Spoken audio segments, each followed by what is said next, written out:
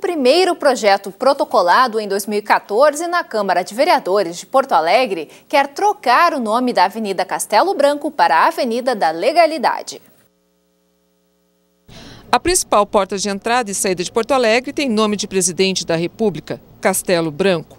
O primeiro de uma sequência de militares a governar o país sem eleições diretas. E se essa via mudasse de nome no ano em que o golpe militar está completando 50 anos, passando a se chamar Avenida da Legalidade? Legalidade? Pois o que, que eu vou te dizer, tchê? Ela já é conhecida como Avenida Castelo Branco e não tem necessidade de mudar. Não sei para que trocar. É, para alguns motoristas, mudar nome de rua só atrapalha. Mas há quem puxe da memória o movimento que garantiu a posse do gaúcho João Goulart na presidência do Brasil em 1961. Três anos mais tarde, ele seria deposto pelo regime militar.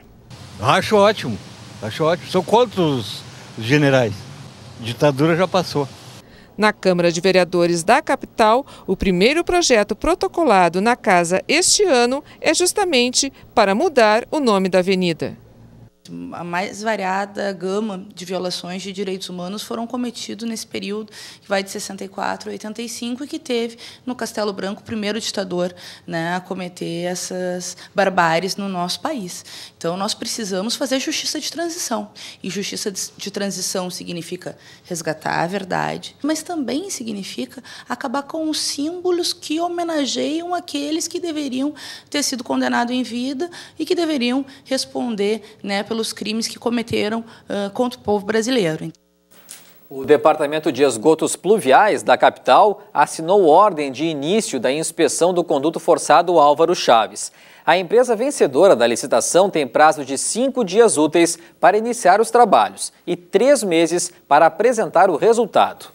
O trecho que vai ser inspecionado tem 3 quilômetros entre as ruas Coronel Bordini, Quintino Bocaiúva e Doutor Timóteo. O conduto organiza o sistema de drenagem da região e no ano passado sofreu uma série de rupturas prejudicando a drenagem da água. Porto Alegre registrou o maior índice inflacionário no ano passado entre sete capitais analisadas pela Fundação Getúlio Vargas. A pesquisa apontou uma inflação de 7,27% e foi a alimentação a responsável por essa liderança da capital gaúcha. Quem diria? A popular banana subiu tanto quanto as frutas no geral, 22% no ano passado. A bergamota puxou a alta, ficou 43% mais cara. Já a uva registrou um aumento de quase 30%. Dá para comprar?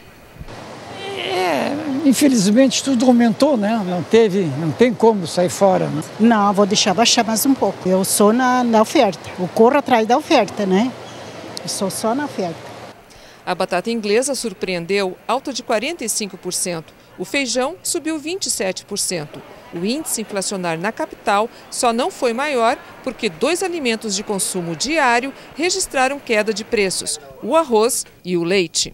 A gente aqui no bolso percebe que é muita inflação. Porto Alegre teve a inflação de 7,27% e isso deve-se a, principalmente à alimentação. Nós tivemos uma alta bastante expressiva eh, nos últimos 12 meses da alimentação e continua subindo. O que acontece no campo mexe com os preços aqui na cidade, como a falta de mão de obra na agricultura e a redução no plantio de algumas culturas. É o caso, por exemplo, da erva mate, que registrou aumento de mais de 60% nos últimos 12 meses. Muito caro. Estou achando que vamos ter que parar de tomar o mate agora.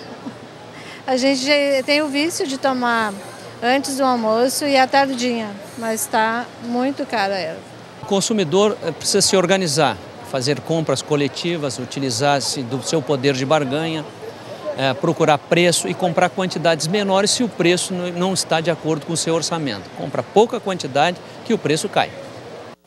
33 pessoas estão desabrigadas em Santa Rosa, na região noroeste do estado, por causa da chuva intensa que cai no município desde o início do ano. Segundo a Defesa Civil, em três dias foram registrados 245 milímetros de precipitação. E aqui em Porto Alegre, a mudança no tempo amenizou o forte calor da última semana. A temperatura mais agradável amenizou a sensação de abafamento. Por volta das 4 horas da tarde, os termômetros do centro de Porto Alegre marcavam 22 graus, 12 a menos do que ontem neste mesmo horário. Teve até quem arriscou e tirou um casaquinho do guarda-roupa. A boa notícia é que no mês de janeiro as temperaturas vão ser altas, mas o calor intenso não deve voltar. É um mês com bastante umidade, é um mês com pancadas de chuva. Normalmente a gente tem pancadas de chuva em janeiro, não chega a ser nenhuma novidade. E é sempre o calor, intercalado com pancadas de chuva, calor e úmido, dominando, especialmente no Rio Grande do Sul, o mês de janeiro. Principalmente a agricultura sai beneficiada nessa situação. E, claro, indiretamente nós também, porque o dia não fica tão quente e a saúde da gente fica melhor, fica mais leve de ser levado o dia. E vamos agora à previsão do tempo para este final de semana no Rio Grande do Sul. A chuva que atingiu o estado hoje já começa a se despedir, mas o alívio com a queda nas temperaturas depois da instabilidade deve durar um pouco mais. O sábado será agradável, com máximas em torno dos 28 graus. E a previsão de chuva se mantém apenas nas localidades próximas a Santa Catarina. Na região metropolitana, o sol aparece entre nuvens e os termômetros marcam 26 graus à tarde. Quem está no litoral norte vai poder aproveitar a praia, pois a chuva deve ser passageira. Em Tramandaí, a mínima é de 18.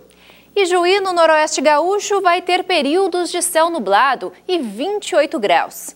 Tempo bom na campanha e no oeste. A máxima atinge os 27 graus em Bagé. Em Alegrete, faz 30 graus. No domingo, o dia não vai ser muito diferente. Pode chover ainda na faixa mais ao norte do Rio Grande do Sul e as temperaturas seguem agradáveis. Assista no próximo bloco.